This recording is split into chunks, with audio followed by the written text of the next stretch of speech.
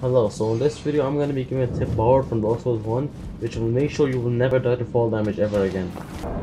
So what you want to do is every single time you fall, go into the options menu and save and quit immediately. Now you will have to practice a couple of times as this is kinda hard.